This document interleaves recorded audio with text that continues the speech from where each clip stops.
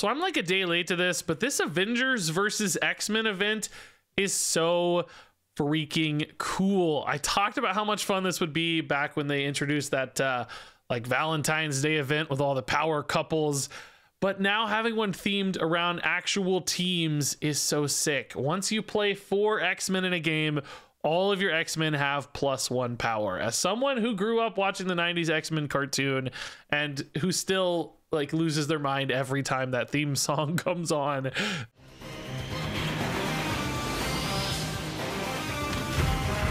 This is so great because in Marvel Snap, all of these iconic teams Avengers, Fantastic Four, X Men their cards never had any connection. Like the Fantastic Four, the cards make no sense together. So it's great to have these events to actually unify these teams and give you an excuse to play them like thematically. And a ton of people have been adding, you know, selected, calculated X Men cards into real decks and finding success thanks to this power buff. I wanted to take it a whole nother level and just make the entire deck part of the X-Men event. And I grabbed a set of cards that looked like it fit really well together. I wasn't expecting, you know, the world or anything because this is kind of a bounce deck without some of the key stuff. You know, we got like Wolfsbane in here instead of Hitmonkey because Hitmonkey's not an X-Men, right? Uh, so there's some some weird odd choices here and there. But I had a great run with this deck. I went nine and five. That's a 64% win rate all of your cards having plus one means throughout the course of a game, you're getting like plus eight, plus nine, plus 10 extra power very often just thanks to the event, which does a ton of work. You know, it's like plus four in a couple locations most games, which can be an enormous advantage. I, often, I also have to say, Wolfsbane felt surprisingly great in this deck. Is this something we're sleeping on? in bounce decks, like being able to play her twice was nuts. Havok felt very, very good as well in this deck. Just one of those power spikes. Bishop is a card we don't see as much these days. Used to be a staple alongside Angela in all kinds of decks. Uh, but still felt like he did work in this and just winning some games, man. It was cool. Also, Cable and Mirage as two cheap kind of bounce feeders also just gave me lots of awesome game stealing sort of resources. And when Mirage is a 2 3 and Cable's a 2 4, thanks to the X Men buff, those stats hold up pretty well. So, all in all, uh, great to have so much fun with a thematic deck like this one. I'm not as in love with the Avengers side of things, but um, this deck worked well. And, you know, it doesn't have a ton of iconic characters for me from the old X Men cartoon, but I love Cable, I love Bishop, I love Beast. I love Forge, I love Nightcrawler, and I love Iceman and Rogue. So it had enough to get the job done, right? Those are some cartoon staples. Anyway, I'm rambling a lot because I just think this is so freaking cool. But uh, got some fun games in this one. Crazy little deck that worked way better than it should. So uh, perhaps get some wins of this or enjoy it while you can because I don't know how long this event lasts, but it's a fun little bonus in the meantime. Yeah, Kitty Early is definitely a good sight to see. Just kind of free I think we have so much spare energy in our games at the end that we're happy to see Kitty. Iceman certainly good too. Bishop and Wolfsbane are both kind of threats, so that's nice to have some threat density. Medusa. Good card, but we don't see it every day. Oh. Cloning Vats and Kitty Pryde later. So next turn we can go Bishop Kitty and just play a bunch of kitties every turn, I think. Oh, Wolfsbane is also really good on cloning vats too. Maybe it's uh maybe we don't actually play a second bishop, huh? Maybe well, we might want to put it here just so that we have another body for the Wolfsbane next turn. But Wolfsbanes are insane. Oh, well, okay, again, that actually kind of technically makes the Wolfsbane better, I suppose. like, there's something, something here happening. Are they gonna play another one right away? Because if so, they're gonna get burned so hard, and I will be so happy. oh, it's Warpath this time. Okay, that's also good, but it does mean maybe left is sort of free. I, I don't, I don't know. Can we afford to put a Wolfsbane in again? Is another question we have. Um, I think so. It's pretty dang big, and the bishop is still scaling as well. And we need to be a little bit respectful of that green goblin potential. Now they could put a goblin here, I guess, since they got Warpath. Nebula this time. Okay, that's actually going to scale a little because of this Wolfsbane, but this feels like the safest way to contest like every spot to me, just because the Wolfsbanes are so big. You know, you want to play one in cloning vats every turn. Because now we're like contesting sort of everywhere, right? Let's do maybe this. We don't expect them to play left because of these warpaths, but I got to play a card anyway, right? So maybe we'll try. So we can win mid and left. We can actually still win right. Right's still actually pretty challenging for them. They're out of warpaths. Um, they can green goblin left, but the kitty pryde will cover that because it's five and negative four, so it'll be a plus one. She's five because it's sewer system. He's negative four because it's sewer system, right? So it's plus one. Um, what is this though? Isn't it like a Galactus or something crazy, dude? Are we gonna about? Are we about to get Galactus, bro? We beat Galactus, right? So that's fine.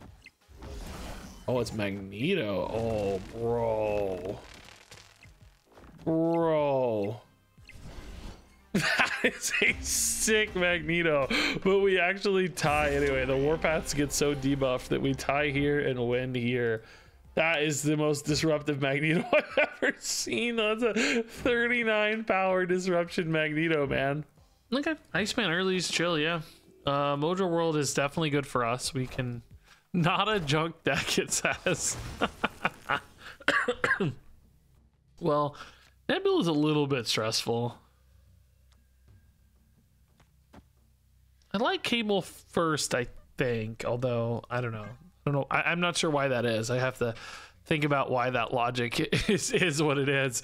Um, it gives me data about their hand. They're also, you know, playing early uh, oh, oh, oh. Um, excuse me. Gives me data about their deck. Mirage gives me data about their hand. Swap those up there real fast. We got an Alioth, which is potentially a very powerful play. We could just go hope here and just start cycling kitties on it, and then maybe finish with like Goliath or something if the opponent doesn't commit. But that that keeps the Nebula in check basically, while still benefiting from hope every turn. Okay, this this is definitely a junk deck, bro. You got Hood. no, I don't I don't believe you, man. I think you're lying to me. Ah, uh, Nightcrawler wants to move mid, but I can't if he's in Dark Dimension. Um, I guess I guess we can just do um do this for now, right? This is fine. Doesn't matter. He'll move out and then Kitty can start next turn. Let's chill. So Mirage. I don't know. We're about to see. Sentry. Okay, so they went big here already. Void. Um, I can actually play Alioth this turn to stop their void potentially. It's letting Nebula scale once. So they go to 17. Am I going to be able to beat 17? Actually, no at the moment, but I might not need to because if I can beat Void and Hood, it's like, who cares, right? Now, what if they annihilate us here and this Alioth is wasted? Well, we lose. That's what. we lose. I think we're in trouble. I don't think they're expecting this Alioth, though. I think that's probably going to catch them off guard a little bit. Ah, Wolfsbane is sufficiently large. Okay. Now, see, that's good news. Nice. Dude, it's so satisfying. Dude, I like as someone who rarely plays Alioth unless I have to for a video. It is very satisfying to beat the opponent with their own Alioth, especially right after a snap. Nova Roma. All right, no problem. Cable on two or Mirage on two? Classic question, man. well, currently Mirage would be insane if they don't play this demon. Maybe we go Mirage. See if we can't get this demon out. Uh, we don't have a beast right now, but could build a beast lane. Demon? Demon? Demon? Demon? Oh, they played the demon. We get Selene instead. Kind of wild. All right. Let's grab the opponent's... Mm, Wolfsbane would be very cool with a beast as well. This is the sort of deck that has Annihilus, probably. Not a lot of ongoing cards, I wouldn't think, for Rogue, necessarily. Thinking more about, like, sentries and stuff. Hopefully this Iceman disrupts them a little bit. Havok is hit. Now he can escape his debuff, so that's kind of chill. Mm-hmm. I mean, yeah, we're definitely kind of showing a uh, spot here for Beast, but we don't actually currently have a Beast, so Is that gonna be worth it? Is this like a sentry? It is. So I'm thinking about just pulling out four cards right right now. I mean, we can absolutely do it. Just go hard here and then maybe go hard mid. I also kind of like maybe maybe we leave sort of like this a little bit better, right? This this leaves me some flexibility thanks to Kitty Pryde. A little bit more surprise factor if they play Annihilus this turn. Now, I mean, of course, if they play Annihilus, like, you know, they're still destroying the Void, so this is still contested and everything. It's just I don't have to deal with the Void, right? So it's it's notably more interesting for us, I think. Um, yeah, Beast, unfortunately, not not a good one. Uh,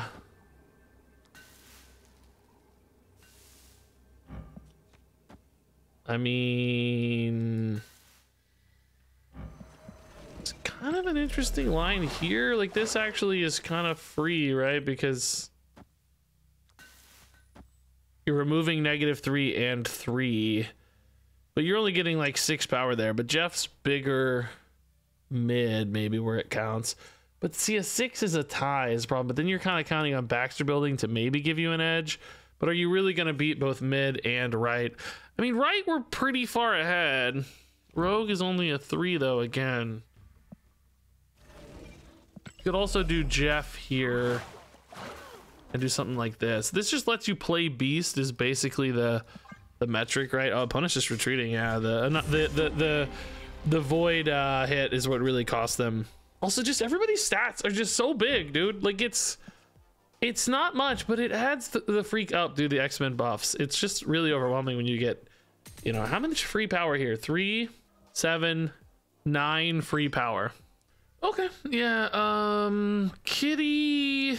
Yeah, we'll have time to play Iceman. We can always weave him in. So let's just get Kitty uh moving, get her uh buffed, get her, get her uh cycling up here. Havok, we're definitely not playing on two in this deck. Havok, I think, is a card we want to save for later as much as possible. Turn five, you know, maybe. You know, arguably turn four sometimes, especially if you got a hope down. Can see an excuse for that, yeah. All right. Oh, speaking of hope, oh, opponent uh, got Kitty Pryde not for me though. Beast can still go here next turn. That's chill. Agent Coulson, Quinjet Cable. So definitely some kind of uh cool Mockingbird shield list. I got a collector though. That's nice. Good for Beast actually. Good for Mirage too. Dang. Mm, I do well. We can go for a turn five Beast, I guess, right? That's fine. We lose one Kitty Pryde cycle. if We play these on curve, but that's probably worth it. um, just to get bonus collector buffs here. No bishop for us though, so one of our like more primary scalers is gone. Um, Rogue can be a threat. Wolfsbane can be a threat. oh, bro. Wait, this is their Mockingbird. Oh, that's from Coulson? Are you kidding me? That's actually insane. Um, are you for real? Wow. They got a Coulson Mockingbird, dude. That's so good. Yeah, this is still pretty good though. I mean, honestly, we're not in a bad spot, I don't think. Would be cool if we got, I don't know, Rogue's no good. I just don't know if I have the like scaling stats to match. They're probably not expecting, well, no, they should know that I got the Mockingbird, although they may think I got like an Elsa too. Because they're both three at the time, it looks like maybe, or no, this is three now. I don't know what it was in their hand. It could have been notably cheaper, right? Uh, this is six energy, so Bishop's probably not worth it. It's got to be like this set, right? That makes Collector much bigger. Um, they're not able to get very big there. Here you do actually expect them potentially get notably larger, and they're just already way ahead too is another side of it. Kitty Pryde is enormous. Maybe something like this? A lot of stats mid here, especially collector scaling too. Well, we think we might expect 18 here. We're beating 18, 11 and 6. No, not quite. Um, let's do this then. I think I like this better. This puts more stats left for that big Mockingbird left, right? Oh, it's just a Miles. Oh. Loki, but no collector because we stole it. Oh, why am I bro? They already played, bro. They already played the second Mockingbird. It's literally right there. You just, what are you looking at, bro? Same difference. You know, this is uh, it's same size. Don't worry about it. Same size. Yeah, nice. The uh, X-Men buff, of course, doing a little bit of work here, right?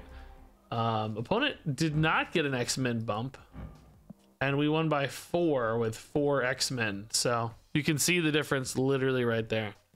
Okay, Kitty Early's awesome. Yeah, Bishop is good. Hope is good. You play... Guess you still play Hope first in theory, but Hope's really not good until turn four anyway, so no. I guess you play Bishop first, don't you? Yeah, definitely not playing Havok yet. He can come down later. Rogue is our one like good counter in this deck. Now most people are playing like kind of real X-Men decks, and by that I mean, you know, like kind of designed decks, which we're not exactly doing. I mean, this is still, you know, designed to be good. It's not like it's garbage or anything, but uh, it's not like a real deck. You know, see, like they have Doctor Doom. We have all X Men, right? Which Doctor Doom is an insane card to get for free, by the way. Are you serious? This is brutally good. Kitty Pryde scaling them up to. Uh, this is gonna be a tough one to win, man. They just got 15 power. I got two for free. That's a hard one to catch up to, man. Um. I mean, yeah, Bishop can get big, but not that big, dude. We just don't have a lot of juice in the tank here. Uh, Wolfsbane's a big card. Oh man, I actually drew the Wolfsbane right on command. That's kind of cool. I mean, Havok there is pretty nice. Maybe we can put in a um, Forge by himself. I think we're probably going to be trying to win mid. So it's going to be like whatever card I draw, not... Oh. It's going to say plus a Wolfsbane, but good God, dude. Uh... Now, the Havok at 8 will technically beat the Black Bolt at 7. Oh, he's even bigger than 8 because we have Forge. So he's actually going to go to 10 or 15 with Atlantis. 16 with Atlantis? Am I bad at math? Forge is plus 2? Oh, he's an X-Men. He's an X-Men. I got X-Men buffs, bro. I forgot about the X-Men buffs. Um... No, I think it's this, right? Because it's like... Sucks because I'm only getting eight power added here, but I gotta trust the Havok maybe because it's gonna be hard for them to add a ton of power. They can, of course, you know they they're only losing five by adding a card. So if they add an eight power card next to Black Bolt or something, right? Uh, they're in a decent spot for sure. Gladiator, dang. Shadow King, wow. Wait. Shadow King. Oh no! Not like this! Shadow King doesn't do enough, but Gladiator does. No, dude, imagine getting 15. Oh, also, we lost. we lost each by one. No. If they'd put either card here, we'd put our card here. Oh my god, the Shadow King just still lost. Oh, random card. Loki with random cards is insane. Uh, the only the only question I have to ask is like, do we Galactus them instead? no, we definitely play Mirage into Loki stuff. That's insane with random cards. Really, really good. Hand is so full for Loki. I never really play Loki, so this is going to be a nice little way to get some Loki action without feeling, you know, guilt-free Loki, basically. Pixie. Huh. Oh, Chavez is a really good card at 1-4. Do we like Chavez here better than Bishop? Pixie also makes me think they might have some big cards, but this is like my last chance because of the Loki. Although the plus two is also not going to be very good because Loki's going to delete whatever it turns into. But even like Chavez Nightcrawler 6 is more bigger than that on average? Maybe. Orcus Forge doesn't matter because we're going to draw to seven anyway for the Loki next turn. I think we try to high roll the Morph, man. Pixie decks have big cards sometimes, right? It's going to be bigger than Bishop on average. Even deleting a couple cards, I think that remains true. So we know they have a Destroyer in hand. That's got to be a random thing from Triskelion, though, so... It indeed, indeed is. Oh, another Destroy card. Wow, kind of fun. So this is Loki 100%.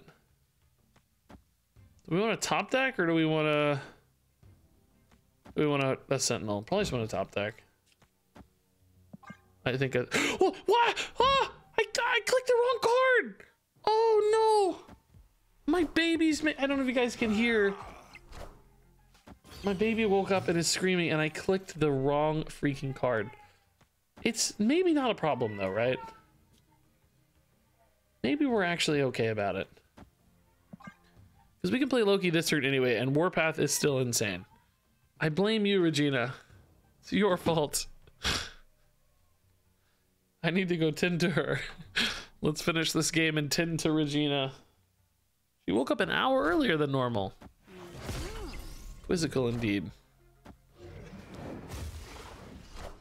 Shang-Chi seems potentially good, but at the same time, there's nothing to hit.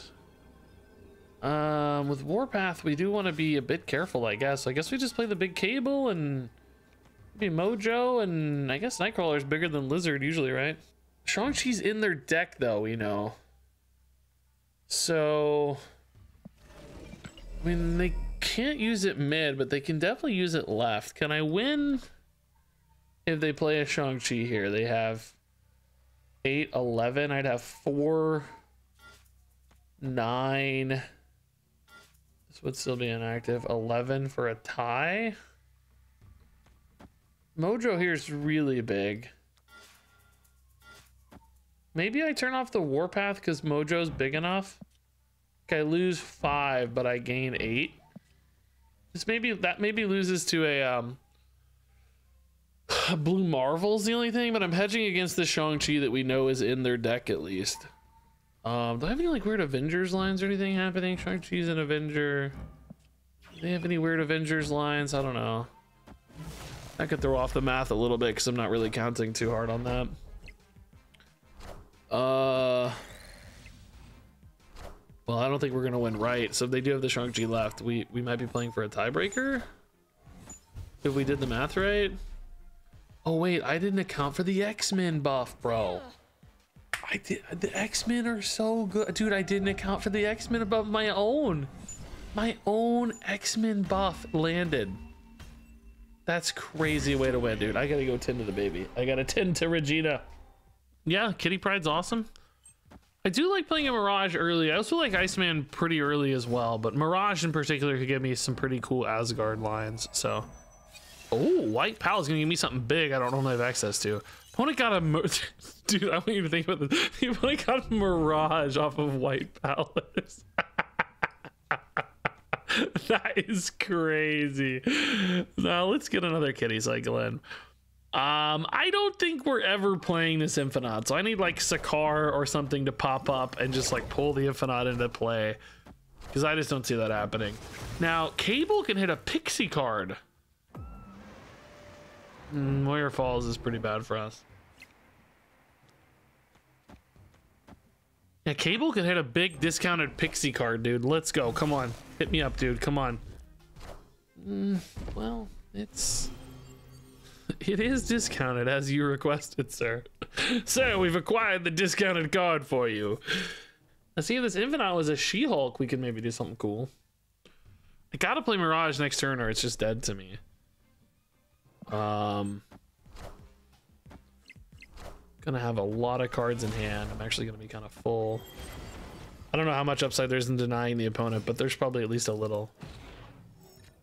Beast? Oh, Kitty Pryde can't go back. I'm actually full. Oh, crap. Well, that's fine. I don't know if I was actually gonna beast here anyway, so it may not actually matter too much. I don't think beast has a ton of upside. It's just sort of clunky though, man. Five energy next turn. I have a Mirage card, a Kitty Pryde, and a Wolfsbane. It sort of depends on the size and the Raj card. Now we think the opponent might skip for an Infinite. We might see a Magic. I don't know. This Havok's kind of risky in some ways. Oh, we got a Wasp. I mean, I'll, I'll take it actually. That's not that's not so bad, man. Sort of free, right?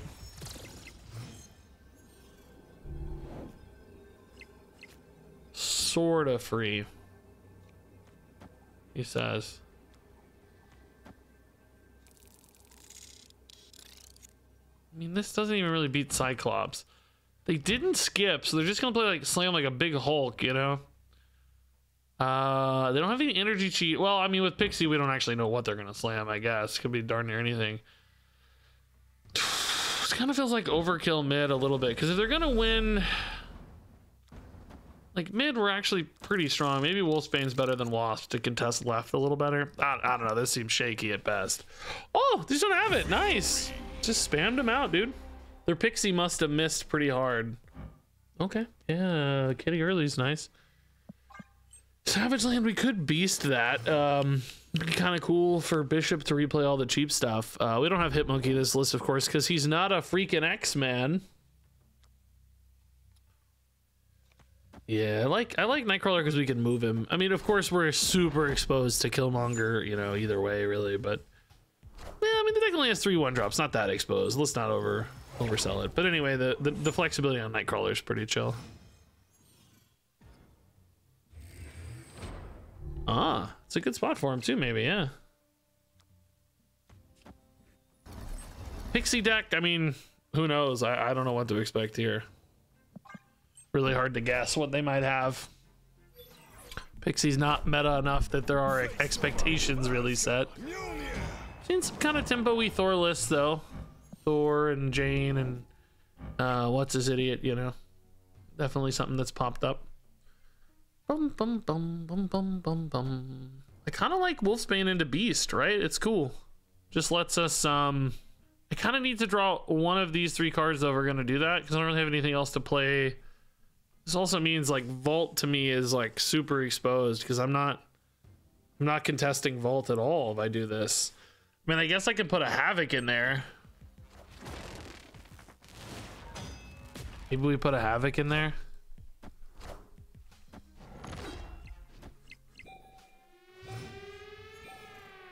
Oh no, X-Men buff coming in.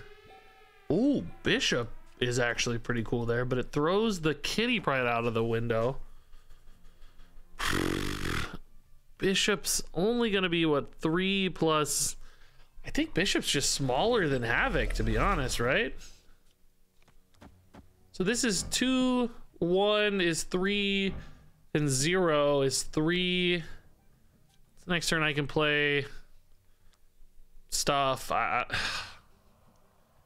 Thor, you think is going to at least 10, man. This is, uh, yeah, I don't know about this, dude. I don't think we're winning right. Yeah, see, the Havok's kind of wasted there. I wonder if Havok should go left here and you just give up right. I mean, we can move the Nightcrawler, but I'm... I'm, I'm gonna have trouble winning left, too, because Beta Ray Bill is just a monster. I mean, I guess Kitty Pryde Wolfsbane is the play left. That's a lot of power. Beta Ray Bill goes... It's one of those where it's like, do you think the opponent even contests mid at all? Like, do I need to put Forge in on the kitty kind of thing, right?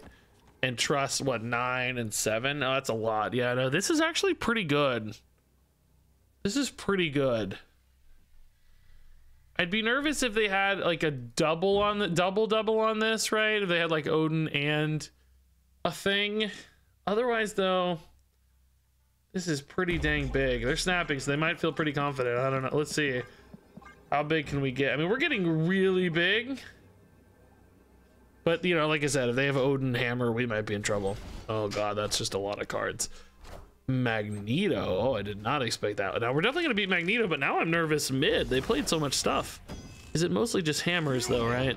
I guess it's mostly... Are we actually going to beat this? I don't know. Is that an Odin?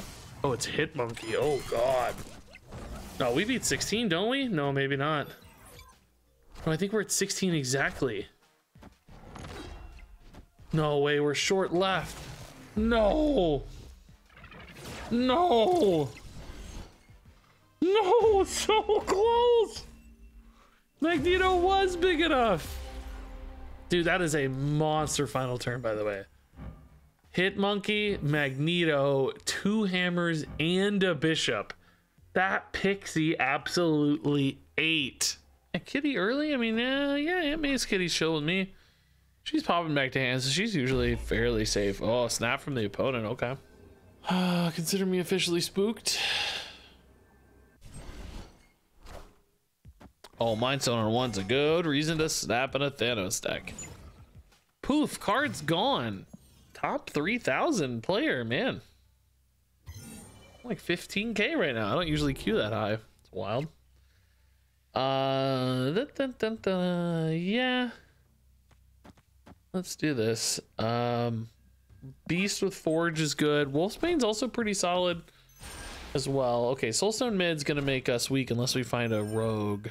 Man, everybody's putting their power stones right next to their soulstones today.